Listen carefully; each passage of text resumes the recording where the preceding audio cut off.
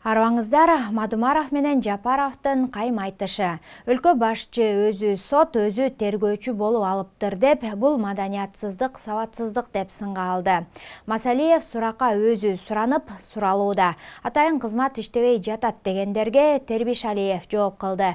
Калмаматовду колдогону үчүн сурак күтүп жатканын айтып акылбек жапаровду жандаган сырдуу чиновник анын жүзүн эмнеге жашырганга аракет кылышкан. Катар каталар шейшеп жабылған мекеме.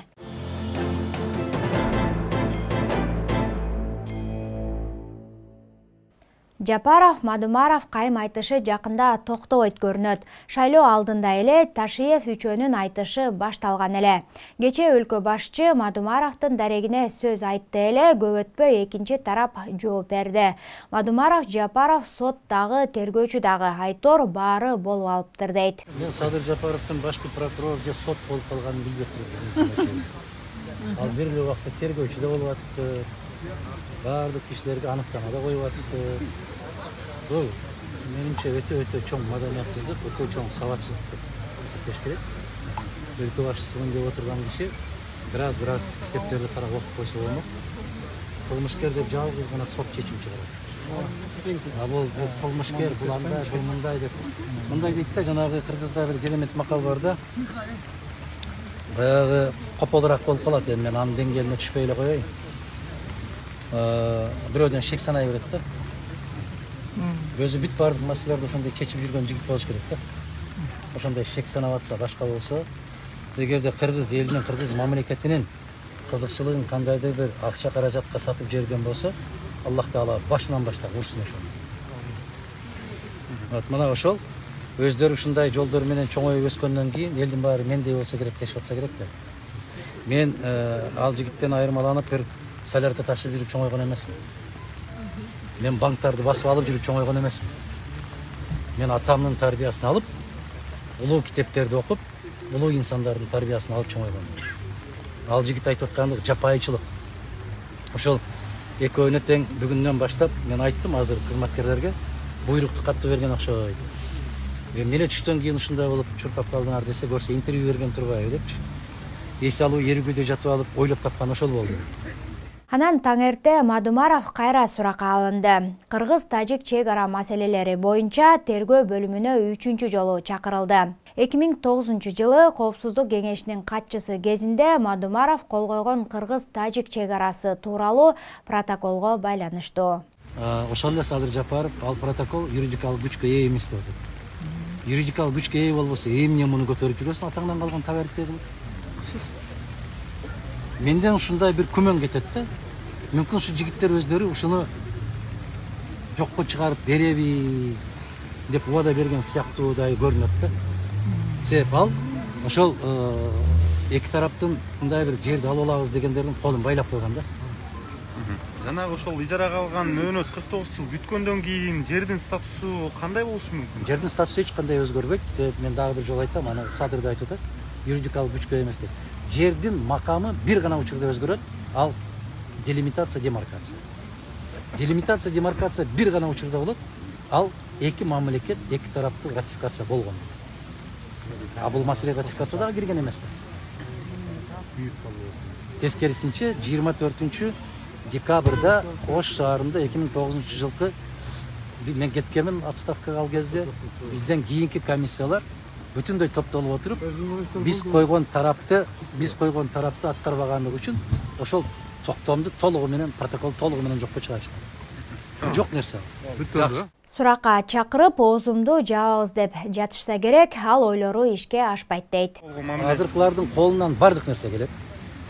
Мен айтып атпаймынбы э, жанагы калемди көрсөтүп туруп бул эмне десең кашык деп да жооп берет болушу мүмкүн мындай болуп келген е тоқсан бесінші жылдан бері қарасаңыз біз емне деген болса осының барына қарсы сөйлеп келе тарих өзі дәлді орды орнына қойып отыр бүгін ошол интервьюсунда айтып тұр асқар акаевич бүтүндөй бардық баягындай бір эмелеринен алынды деп акталды деп азамат баракелде бар бол аман бол айланайын анан кусуп атат кусса ооздон оозго кускандыр бирок ал кыргыз казынасынан кусулганын көргөн эмеспиз кандай мамиле болушу мүмкүн э, билгендериндей мамиле кылсын бул керек болсо ушул бүтүн кыргызстанга жасалып аткан иш аракеттин баары мага эмес жана нарматовага эмес бул ошол залда отурган сексен бешке ишарат. Көрдүңөрбү керек болсо биз мадумаровдун өзүн дагы ушундай кылып коюшубуз мүмкүн ушуну эске алуу менен силер оозуңарды жапкыла дагы бас дегенди бас.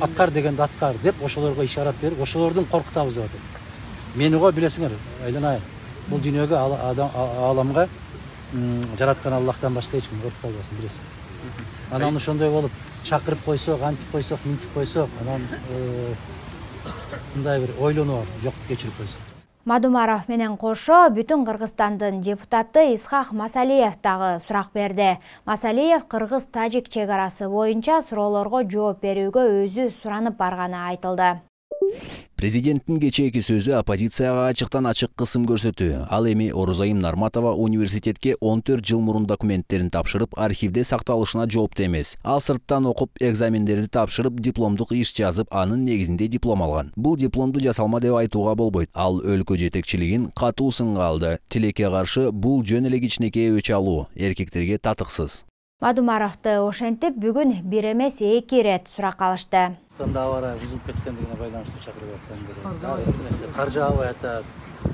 көмүр арзандабай атат деген сыяктуу маселе э? Саат үчтө келели анан кийин же ары же бери ошондой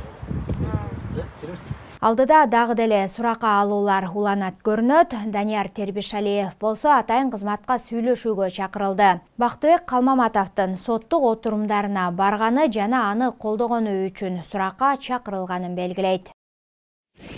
Гкнб иштебей жатат деп жатасыңар. Иштеп жатат. Саясий туткун бакытбек калмаматовду колдоп сотко катышып пост жазганыма эки үч күн боло элек сүйлөшүүгө чакырышты белгилей кетсек он экинчи январда калмаматовдун бөгөт чарасы боюнча сот отуруму жылып кеткен.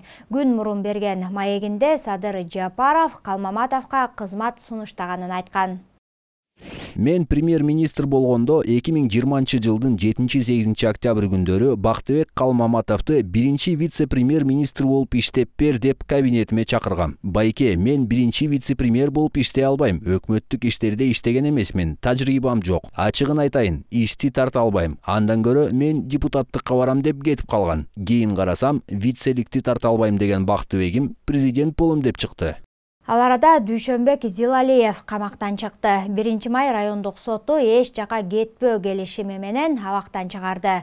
Зилалиев мыйзамсыз баюу беренеси менен камакка алынган. Эки миң он сегизинчи жылы экс чиновниктин үйлөрү банк эсептеринен ири каражаттар табылган. Кийин ал акчалар сооронбай жээнбековдун шайлоо кампаниясына жумшалмак экени айтылган болчу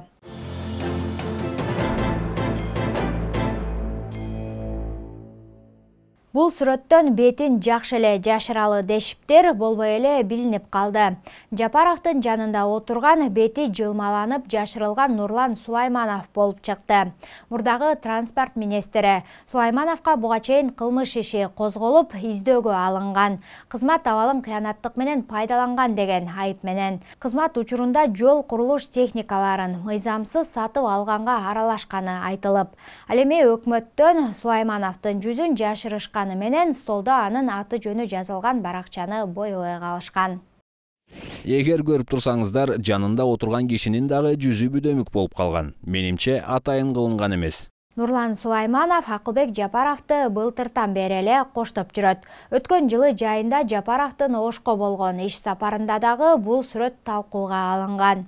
А бул андан кийинки сүрөттө. Сулайманов болсо жапаровдун жанында жүргөнүн тастыктап коомдук башталыштагы кеңешчисимин деп билдирген. Ага карата ачылган кылмыш иши болсо мөөнөтү аяктаганга байланыштуу жабылыптыр дело закрыто. Да угадал азыр талкуудагы дагы бир сүрөт бажычылар баштаган флешмоб окшошпой калды деп жатышат. Бажы кызматынын башчысы адилет кубанычбеков камакка алынды. Ал жемкорлукка шектелүүдө. Бажы кызматынын жетекчилиги сыртка товар чыгарууга катышкан жеке компанияларды коргоп жеңилдетилген шарттарды түзүп үзгүлтүксүз пара алып туруу үчүн товарларды жашырганы аныкталган бажылык тариздөө мыйзамы одоно бузулуп параны системалуу алып туруу үчүн жашыруун схемалар колдонулганы аныкталды. Мындан тышкары бажы кызматынын жетекчилиги мамлекеттин кызыкчылыгына жашынып жеке баюу максатында тышкы экономикалык ишмердиктин субъектилери үчүн туунду компаниялар көрсөткөн бажы кызматтарынын баасын негизсиз ашыра баалап тургандыгы аныкталды ал эми адилет кубанычбеков бажы кызматына былтыр октябрда барган. Кызматка барары менен райымбек матраимов менен чогуу иштешкен делген кырк бажычынын көбү кызматтан алынганын билдирген. Берген маектеринде дагы бажы тармагында аткезчилик токтогонун айтып жүргөн